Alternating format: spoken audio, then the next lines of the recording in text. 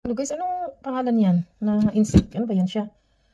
Dito yun sa aking paso guys, oh, nilagyan ko ng fern. Pag open ko, kasi tapon ko yung excess na water. Nakita ko yan. Anong, ano yan? Uod ba yan? Hindi naman kasi yata yan uod kasi ano yan eh. Green. Anong tawag niyan? Buti na tiningnan ko. Kaya pala, namamatay yung aking ano. Parang ano yun pala siya yan. Lagyan ko asin sa suka yan. Mamamatay na yan. Hindi ko alam kung ano yan. Lagyan ko siya ng mainit tubig para mamatay yan. Hindi ko alam yan. guys, nakalagay doon sa aking ano. Tapos binuksan ko siya kasi lagyan ko ng tubig. Ayan, sa ilalim niya, may nakalagay na yun, na insect, ano ba yun? Parang uod na green. Kaya pala pa siyang matamlay. Ayan, oh. Siyang matamlay. Hindi ko alam, meron pala siyang, ano, pest. Ayan, i... Ano gagawin ko doon? Hindi ko alam kung ano yung ano na yun, eh. Guys, gumagapang, oh. Yeah, di pa rin siya namamatay. Lagyan siya may tubig. Ayan guys, ubuhay pa siya. Gapang talaga. Lagyan ko na sinusukat. Di talaga siya namamatay. Di ba yung ahas na maliit? Dito kasi yan guys, oh. Ayan, ganyan siya. Tapos, lagyan ko siya. Kasi parang dito siya indoor naman tong fur na to. Ganyan siya. Tapos sabi ko parang matamlay. So, lagyan ko na tubig. Tinanggal ko. Tapos may excess water siya. Nakita ko yan guys, oh. Para siyang, di ba yung ahas? Ano ba yan? Anong pangalan yan? Green. Bakit green? Nakadalawang bis ako nakita niyan. Lagyan ko siya ng mainit tubig.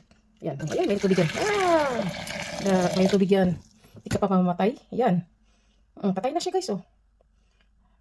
Kasi dadami na uubusin yung indoor plant mo. Yi. Ayan. Kinakain niya yung ano ko eh, plant eh. Ayan. Hindi ko siya na mainit tubig kasi lagyan siya ng asin at saka suka. Parang gusto ko pang kilawin niya eh. Sabi kasi ng asawa, lagyan ko lang daw ng suka at saka asin basta slugs. Hindi naman niya slugs. So, di siya nabu, di talaga siya namamatay pag suka lang. Eh, mainit tubig. Tingnan ko mabuhay pa siya. Ayan, lutang sa patay na siya. Yaks. Tapon ko na to siya. Tapon siya sa labas. Patay na siya guys, oh.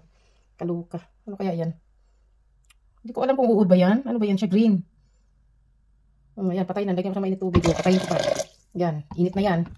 Pa siya mamatay dyan. ayan lang guys. Oh. Tapon ko na yan. Tapon ko sa labas sa may kanal o oh, sink. Bahala siya kung ano siya dyan. Buhay pa kaya yan. Indoor plant, meron din palang kakain sa ano mo, halaman mo. Nag-spray naman ako ng para sa pest. Pero nasa ilalim siya eh.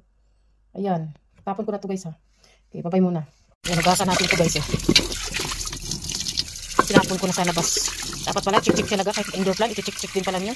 Kasi magapang pala yung, ano, may, may mga uod ba yun? Uod na green. Ayan. Balik na natin.